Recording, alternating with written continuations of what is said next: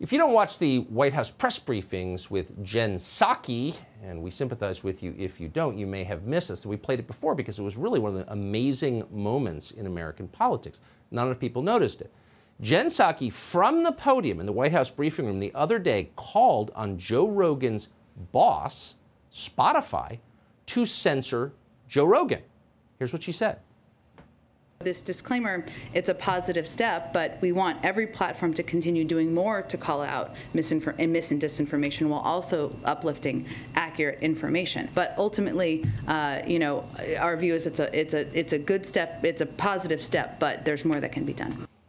So what the apologists have told us for the past four years, as we point out censorship after censorship after censorship, book burning, it's all totally fine because the government's not doing. This has been National Review's position for five years. As long as it's not the government, then really, says David French, the First Amendment doesn't apply.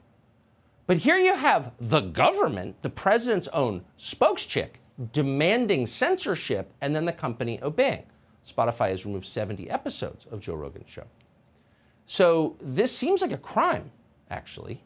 But what do we know? We're not lawyers. Glenn Greenwald is. He's also an independent journalist. He joins us tonight.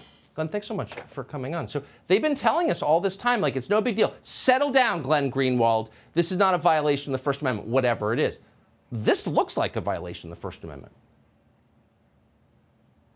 Right, and obviously that that comment that you just referenced is in and of itself disturbing. Why should the White House be weighing in at all on who they think should be on Spotify, who they think should not be, what they think Spotify should and shouldn't be doing about their podcast podcast hosts?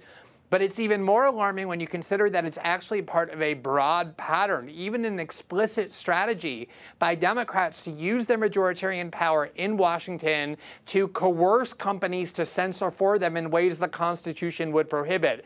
They've repeatedly subpoenaed social media companies and explicitly said if you don't start censoring more, you will face legal and regulatory reprisals. Remember when Parler was taken off the internet when it was the number one most popular downloaded app? It was because AOC went online the day before and said, hey, Google and Apple and Wall Street and, and, and Amazon, why are you allowing this app that I don't like? on the internet, and three days later it was gone. So, this is exactly the kind of coercion, Tucker, that the Supreme Court has said the First Amendment that the government can't engage in without violating the First Amendment.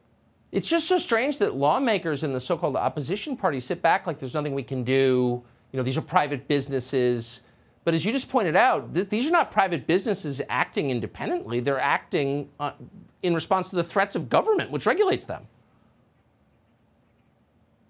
I think this is one of the key, most overlooked parts of the whole censorship debate is these Silicon Valley companies never set out to want to censor. Why would they? Why would you want to kick people off your platform? Right. You want more people on your platform. And ideologically, they came out of Silicon Valley, which is about the free internet. So why are they now doing it? It's in part because they got pressured by journalists, the New York Times and NBC saying if you don't censor, you have blood on your hands and you're responsible for the destruction of democracy.